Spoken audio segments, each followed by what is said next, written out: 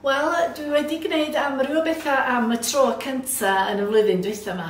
Ac yn sicr, mae beirniadu cysylltiad tep nawn rhithiol yn un ohonyn nhw. Diolch yn fawr i chi am y fraint o gael wneud. Bechod mawr na fyswn i wedi gallu gwneud yn fyw fel mod i wedi gallu blasu rhain, achos o'n i'n gorfod mynd wrth y lluniau yn unig wrth gwrs. Am be o'n i chwilio? Wel, o'n i chwilio am rhywbeth oedd yn edrych yn ddeniadol, yn apelgar i'r llygad, bod na falans da rhwng pethau melus a pethau sawrus, hynny yw dim gormod o bethau melus, da chi'n gwybod beth maen nhw ddeud, gormod o bwdin, dagydd gi, um, bod y bechdana wedi torri yn fychan, bod yr holl beth yn edrych yn, yn deinti fel sa'r Saeson yn ddeud. Um, hefyd ychydig bach o mrywiaeth yn y cacenna, dim gormod o'r ei sponge er enghraifft, uh, hufen ffres yn ogystal a hufen um, buttercream. Mi gafon ni ddeg yn cystadlu Um, amrywiol oedd y safon a dweud y gwir, um, a dona ddim llawer yn uh, taro y nod yna o'n i'n chwilio amdan, ond mae yna delwndod yn sicr, mae yna dri yn dod i'r brig. Um, un mantais wrth gwrs bod rhain ddim wedi bod yn sefyll mewn papell boeth am brynhawn ydy eich bod chi wedi cael eu bwyta nhw a dwi'n gobeithio yn arw bod pawb sydd wedi cystadlu wedi mwynhau eu bwyta nhw. Yn sicr mi fyddwn ni wedi bod wrth y modd i gael y cyfle fita unrhyw un o'r te. Mae yna bethau hyfryd yn bob un ohonyn nhw. Diolch yn fawr iawn i chi.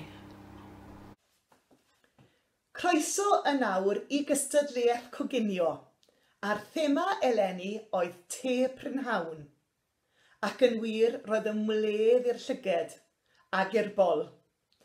Diolch yn fawr iawn i'r Rhian Cadwaladr am feirniadu. Rhian wedi gwneud yn arbennig ar didalen curo'r corona'n coginio dros y misoedd diwetha. Diolch i chi Rhian.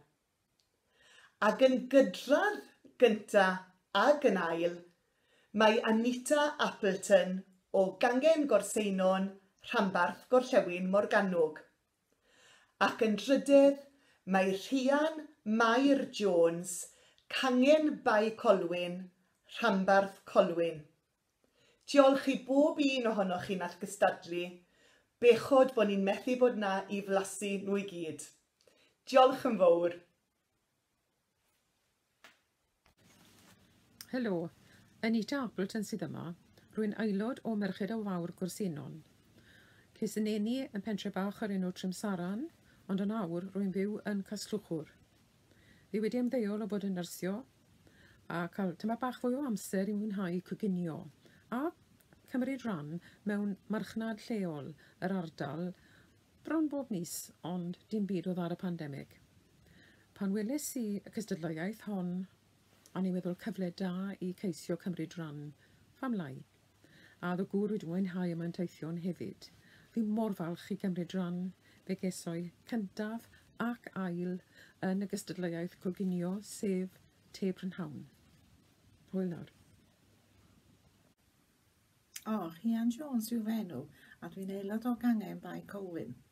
Dwi wrth y modd yn gwneud te Brynhawn, a diolch yn fawr am gael y cyfle i gystadlu.